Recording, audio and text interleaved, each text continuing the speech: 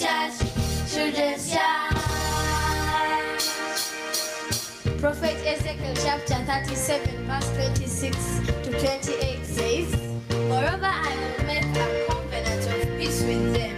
It shall be an everlasting covenant with them, and I will bless them and multiply them, and will set my sanctuary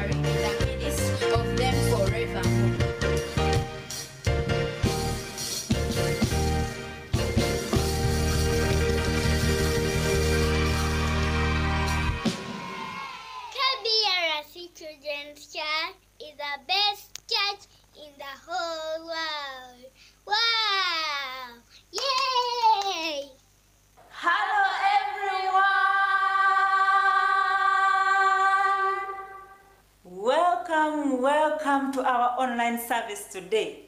You know, this is our marvelous light day that our God has made for us. We are going to rejoice and be glad in it. And guess what? All forms of darkness have no power over us. And just know that we are in God's presence because the Bible says, where two or three are gathered in the name of the Lord, and that is the name of Jesus, God is right there in their midst. Therefore, expect God to do great things in your life today. You know, always we begin this service with a prayer. So close your eyes. Let's pray. Lord Jesus, we want to thank you for today. Lord, as we are going to thank, as we are going to praise you, may people's hearts be touched and may their lives be changed. In Jesus' name we are prayed. Amen. Now, it's our beautiful time to prophesy the year and a month that God gave us. Together, This is my year of His marvelous light, and I see His marvelous light. This is my birth of His marvelous light of faith, and my faith is shining. Indeed, our faith has been shining since this month started up to today. And by now, all of you know that this is our last Sunday of this month. And Alpha, what does the Bible tell us in Ecclesiastes chapter 7 and verse 8? It says, endings are better than beginnings. So, children, be expectant of better things from God as this month comes to an end. Now we are going to praise and worship our God. And the Bible tells us in the book of 2 Samuel, chapter 6 and verse 14, that King David praised the Lord and dance with all his might in the presence of the Lord. Therefore, children, stand up on your feet. Let's also praise our God and dance for Him with all our might, like King David, and our lives will not remain the same.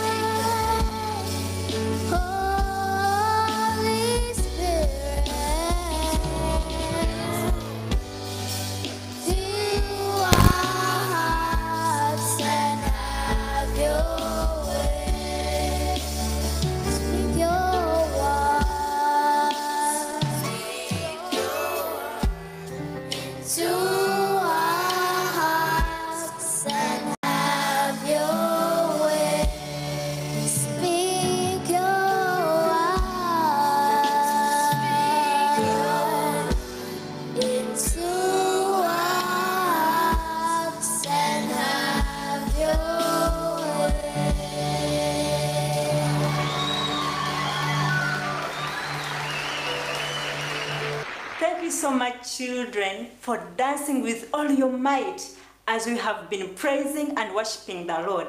And guess what? Your life has not remained the same.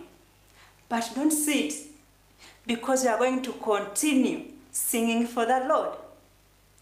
But remember, since this month started, we have been learning that faith comes by hearing, and hearing by the word of God.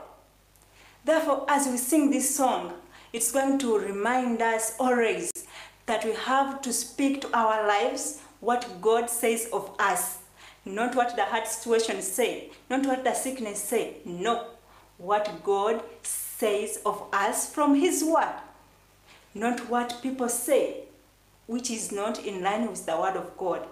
We should always speak to our lives what God says of us, and we will always be blessed. So enjoy the song.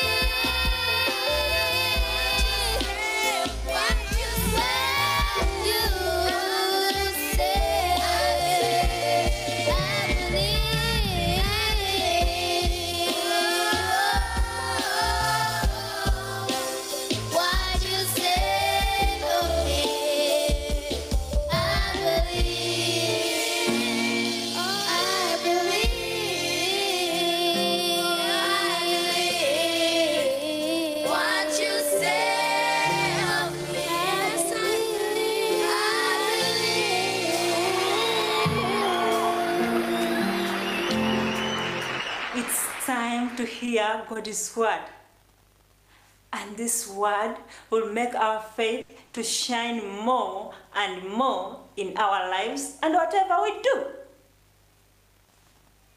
Our word from God today is faith is love.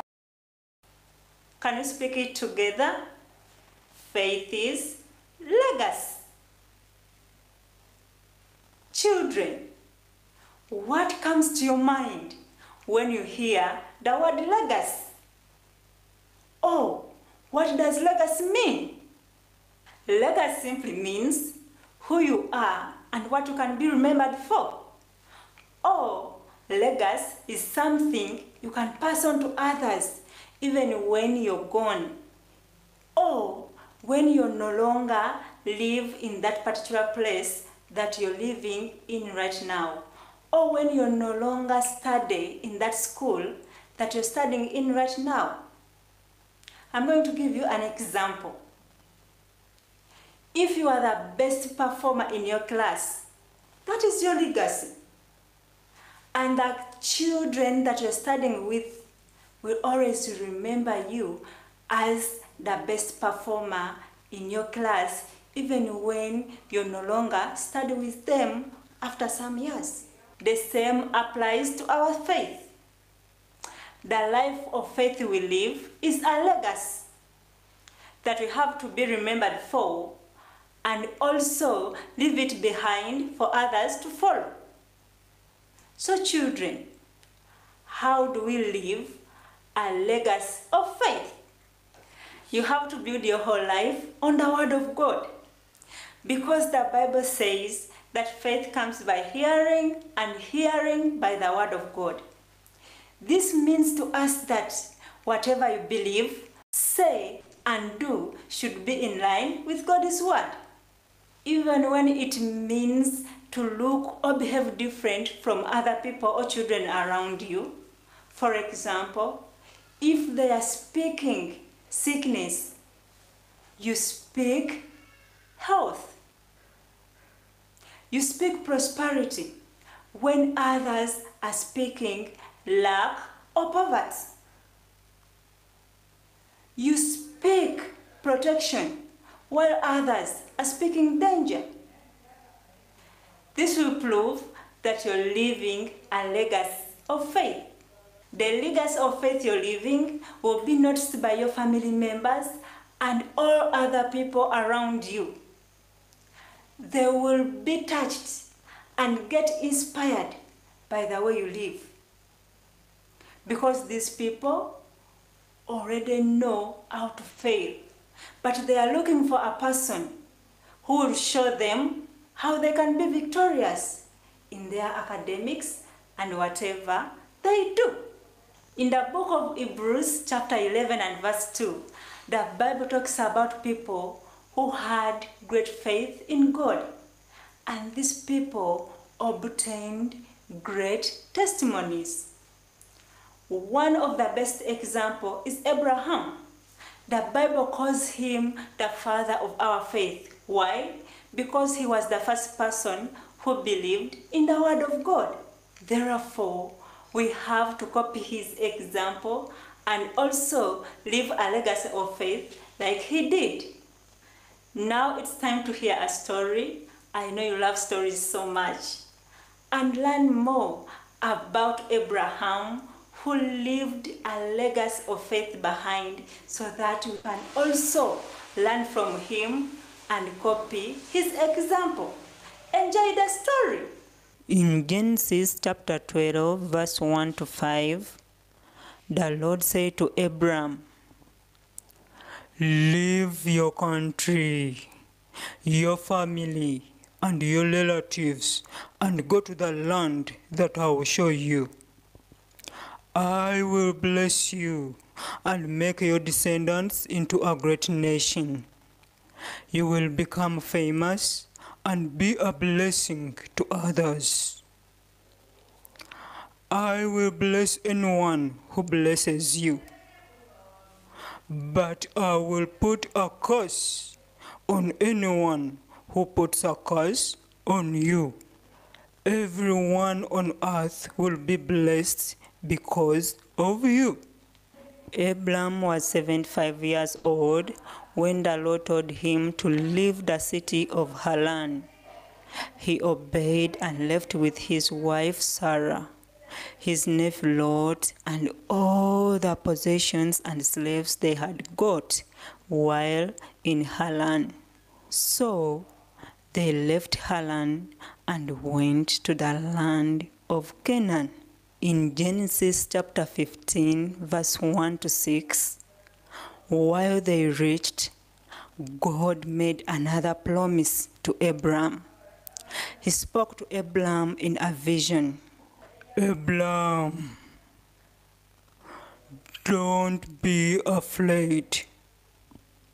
I will protect you and reward you greatly.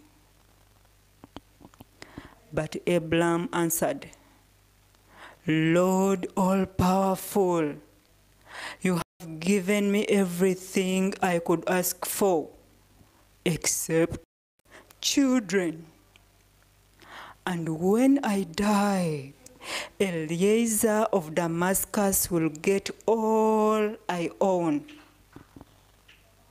You have not given me any children, and this servant of mine will inherit everything. The lordly pride. No, he won't. You will have a son of your own, and everything you have will be his. Then the Lord took Abram outside and said, Look at the sky and see if you can count the stars. That's how many descendants you will have. Abram then believed the Lord, and the Lord counted him as righteous because of his faith. In Romans chapter 4, verse 13 to 25, shows us that the promise that God made to Abraham is for us all who have faith. We also receive the same promise by faith from Abraham, the father to us all who believe. He is our faith father. We call him father not because he got God's attention by living like a saint, but because God made something out of Abraham when he was a nobody. Through his word, God told Abraham, I have made you the father of many people. God named him a father before he became a father because he trusted God who brings the dead back to life and who creates new things out of nothing. Then Abraham decided to live on what God had said he would do, and he never focused on his very old body, which was a hundred years, or his wife's barren womb. Abraham's faith in God's promise grew stronger and was fully convinced that God is able to do whatever he promised. That's why Abraham was set right with God because of his faith, and he became a father of many people. This was not for Abraham alone, but also for us. The same thing that God said to Abraham, He also says to us when we believe Jesus, who made us right with God, when He died for our sins, and God raised Him from the dead. Hope you have enjoyed the story and learned lessons from it. From the story, we learn that we must obey God's word like Abraham did. When God told him to leave his country and his city to go to the place where Abraham didn't even know, Abraham did not doubt in his heart. And when he reached Canaan, God blessed Abraham. Therefore, children, when you obey God's word, God will bless you like He blessed Abraham. We also learn that when we believe in Jesus who died for our sins and God raised him from the dead, we become the righteousness of God. Everything concerning us is made right. Our academics are made right. Our family is made right. And whatever we are believing God for is made right because we believe in Jesus. We also learn that when we believe in Jesus, who died for our sins, and God raised him from the dead, we become the righteousness of God. And everything that concerns us is made right. Our academics, our family, and whatever we are believing God for is made right. Because even when Abraham believed in God, God accounted for him as righteousness, and everything that concerned Abraham was made right. Lastly, we remember Abraham because of his faith. And when we have faith, we will also be remembered like Abraham was remembered. God bless you. Children, you should know that believing in God begins our legacy. And believing in God starts on that day you believe Jesus as your personal Lord and Savior. So if you're out there and you've not yet believed Jesus as your personal Lord and Savior, repeat these words after me. Father, in the name of Jesus, Father, in the name of Jesus, I believe I believe you sent Jesus to die for my sins. you sent Jesus to die for my sins. I believe I believe you raised him from the dead. Raised him from the dead. With my heart, With my heart, I believe I believe to receive righteousness. to receive righteousness. With my mouth, With my mouth, I confess I confess Jesus Jesus as my personal Lord as my personal Lord and Savior. and Savior. Amen. Amen. Now you're born again and you have started your journey of living a legacy of faith in this world. Children, before I end this service, I want to leave an assignment for all of you. This assignment is from the book of Hebrews, chapter 11. You're going to read the whole chapter throughout this week and you're going to learn more about people who lived by faith and you're going to copy their example and also live like them and if you're there and you don't know how to read please tell your parents or your relatives to read for you and also learn more about people who left a legacy of faith behind so that you can also copy from them. Let's end our service with a prayer. Father, in the name of Jesus, we thank you for the word that you have given us today. Faith is legacy. We promise to live a life of faith and we are going to leave a legacy behind in whatever we do and wherever we are. And we believe through faith you're going to perform miracles in our lives, in our academics, in our parents' lives, and whatever concerns us. In Jesus' name we pray.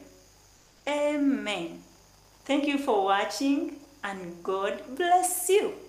Surely Goodness and mercy shall follow us all the days of our lives, and we shall dwell in the house of the Lord forever with his marvelous light, forever with his marvelous light, forever with his marvelous light.